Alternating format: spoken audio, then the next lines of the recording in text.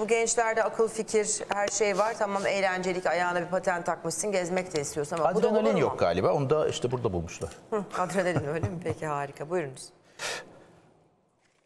Evet. Bir halk otobüsü görmekteyiz. İstanbul. Arkadaşlar da patenli gençler işte 13-15 yaşlarında.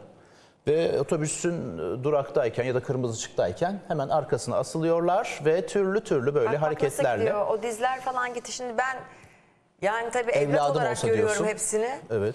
Ya 13-15 yaşında benim 10 yaşında oğlum var. Yani aklım çıkıyor. Anne baba şu an bu görenleri bunlar biraz daha da büyükler. Hani birazcık daha akılları ermiş. Bak o kasislerden de zıplayarak geçiyorlar. Tabii tabii bak Öğrenmişler Unkapanı? Köprüsü'nden gidiyor. Yani hani bildiğin 3 şeritli e, bayağı hızın da nispeten yapılabileceği Taksim'den Fatih'e doğru giden bir yol burası. Ay, otobüs şoförü fark etmiyor mu acaba bunu Nasıl o etsin anda? Ebru ya? Kamera mı koysun? Yani Kamera ne olsa bileyim, bile ne yandan yapsın? uyaran falan olur. Yani gerçekten bir şey olsa bunlar. Yani bir frenle sert Ani bir bir şeyle fren olsa değil mi arkadan bir mesela? araç ani bir fren altına girebilir.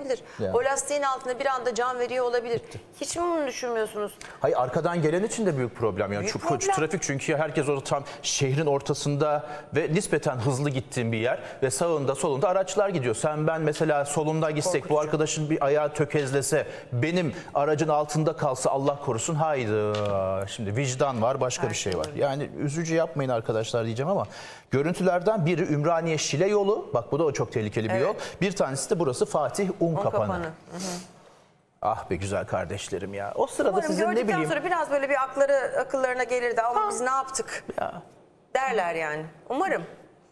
demeleri Yani lazım. başka Aile terbiyeleri almışlarsa o hadi eğitim vesaire bir kenara da Ee, bir taraftan da bu arkadaşların şu an okulda olmaları gerekirken Tabii. Ay, vesaire. korkmuyorlar. Korkusuzluk, adrenalin bu nedir gerçekten? Hani kuralları içe saymak falan.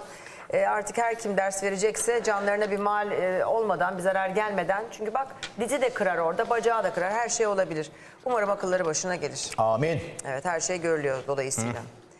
Evet buyurunuz.